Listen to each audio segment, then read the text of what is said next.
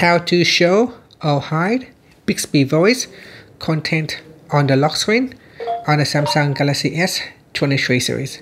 First tap on the home button to go back to the home screen.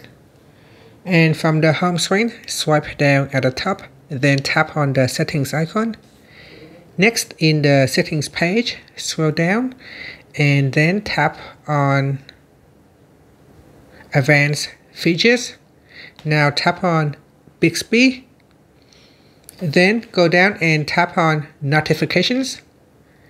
And then you tap on lock screen notifications. In here, you can choose show content or you could select hide content. And that's it. That is how you can choose to show or hide the Bixby voice notification content on the lock screen.